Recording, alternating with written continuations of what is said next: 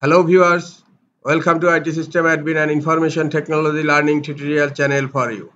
Today in this tutorial I am going to show you how to turn on automatically download manufacturers apps and icons on Windows 10 computer.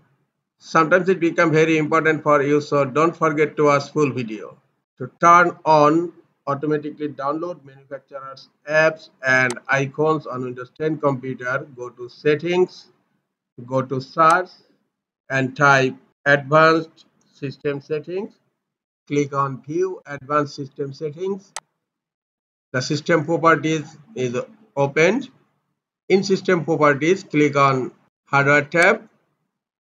And here you will find device installation settings. Click on device installation settings option. And look do you want to download and look do you want to automatically download manufacturers apps and customs custom icons available for your device? Now no is selected. Just click on yes and it's recommended. And then click on save changes.